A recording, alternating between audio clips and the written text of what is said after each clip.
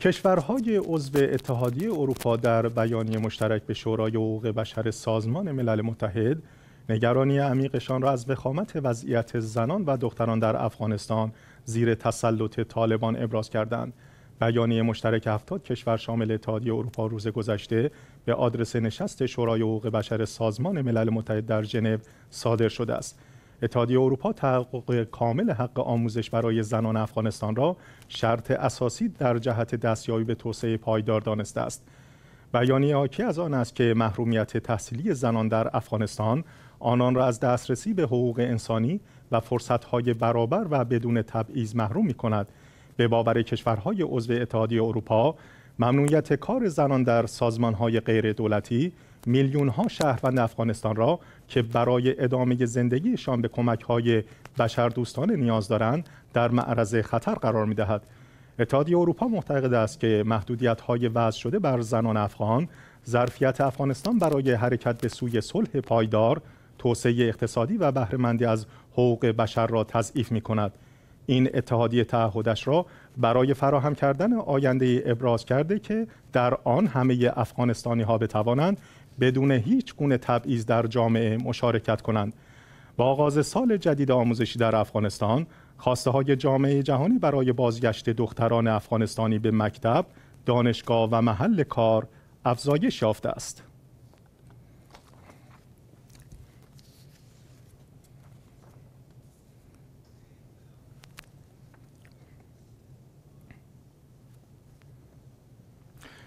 دکتر موسا اکبری از شهر آنکونای ایتالیا با ما همراه هستند. آقای دکتر سلام علیکم. با سلام و درود خدمت شما و بینندگان محترم شبکه جهانی امام حسین. عرض ادب و احترام. فرمایید. آقای دکتر، هفتاد کشور به شمول اتحادیه اروپا از وضعیت حقوق بشری به ویژه زنان افغانستان ابراز نگرانی کردند. این نگرانی ها تا چه حد به جاست و اطلاعات شما چگونه است؟ بفرمایید آقای دکتر.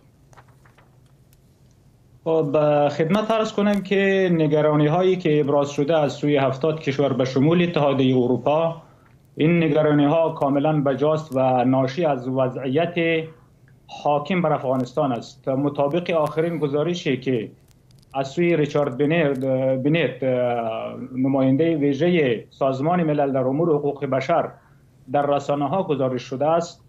گروه حاکم بر افغانستان یعنی گروه طالبان طبق بیان آقای ریچارد بنیت عمدن محدودیت های را برای زنان ایجاد کرده است. خب بحث حقوق بشر در کل به عنوان یک ارزش انسانی و دموکراتیک و بحث حقوق زنان به صورت خاص در افغانستان کاملا به صورت عمدی نادیده گرفته می شود و این وضعیت حاکم در افغانستان سبب شده است که این کشور دچار این مشکل شود و گروه مسلط یا گروه حاکم این گروه طالبان به این ارزش ها پایبندی یا احترام نداشته باشد.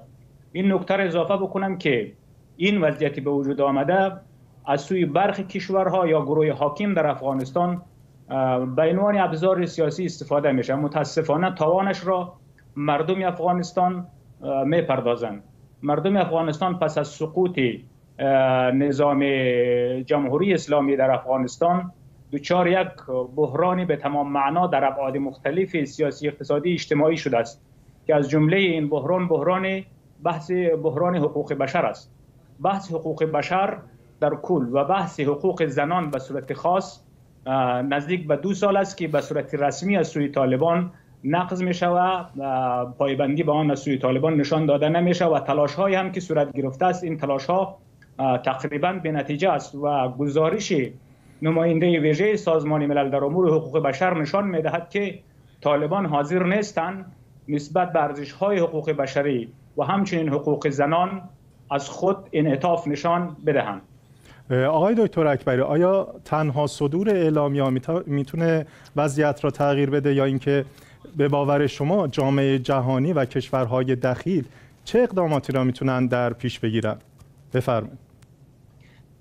ببینید صدور بیانیه در حد خودش ممکن است در افکار عمومی اهمیت خودش را داشته باشد. و اما در خصوص مردم افغانستان که با این وضعیت روبرو شده است و با نقض حقوق بشر به تمام معنا الان دارن دست و پنجه نرم می‌کنن و از سوی گروه حاکمین بحث اعمال میشه و این موضوع مثلا نقض حقوق بشر انجام میشه. این با صدور اعلامیه امکان پذیر نیست. ما در سوال قبلی شما یادآور شدم که متاسفانه موضوع حقوق بشر یا حقوق زنان سیاسی شده است. شما اگر دقت بکنید اصلا تسلط طالبان یا عرصه آمدن طالبان بر اساس یک توافق است که از سوی دولت آمریکا در دوحه قطر در سال 2020 انجام شد. خب زمین سازی تسلط طالبان همین توافق دوحه قطر است. و قدرت ها که از این مسئله به عنوان ابزار سیاسی استفاده می‌کنن اونها باید پاسخگو باشند و جامعه جهانی و دولت هایی که دغدغه حقوق بشری دارند می توانند با اعمال فشار تحریم و فشارهای دیگه بین المللی بر گروه حاکم گروه حاکم را متقاعد کنند که بر یک ساختار همه شمول تن بدهند که در آن ساختار ارزش های حقوق بشری به ویژه حقوق زنان هم محترم شمرده شود. تشکر می‌کنم آقای دکتر اکبری.